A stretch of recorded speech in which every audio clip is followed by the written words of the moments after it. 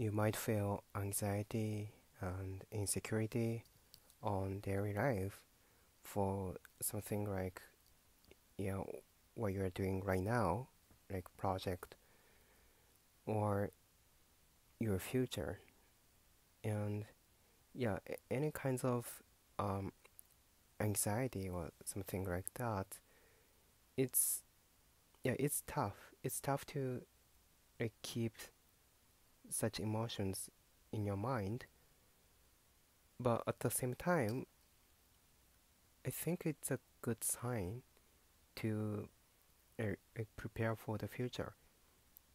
Yeah, looking back my um my past experiences, especially at school, um when I feel like optimistic for the upcoming ex- exams, I will be most likely uh doing not not good. And when I feel like really anxious and very worried about ex- exams, I did uh, pretty good, at least compared to when I feel like um, very positive.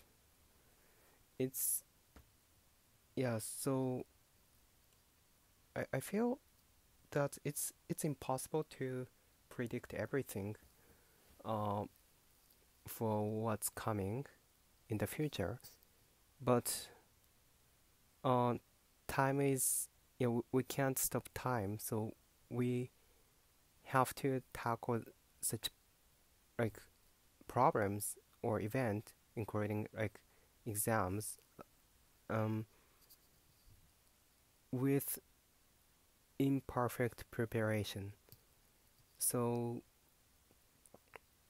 so that mean it, it means that um, fearing anxiety or imperfect imperfect means you can at least uh, understand what you should consider about the upcoming exam. You have you you grasp the like whole image and although it's impossible to do everything but at least you like know what what you should do if you have time so